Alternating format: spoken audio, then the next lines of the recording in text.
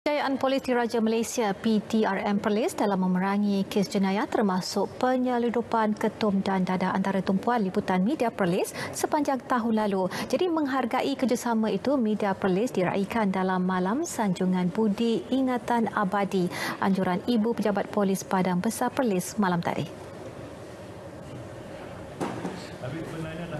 Pengamal media yang hadir termasuk RTM Perlis bernama Media Prima, Utusan dan beberapa akhbar Mandarin tempatan. Mereka yang hadir mendapat sijil penghargaan dan cenderahati khas dari IPD Padang Besar. Turut hadir Ketua Polis IPD Padang Besar, Superintendent Saifuddin Aslin Abbas dan para pegawai kanan Polis IPD berkenaan.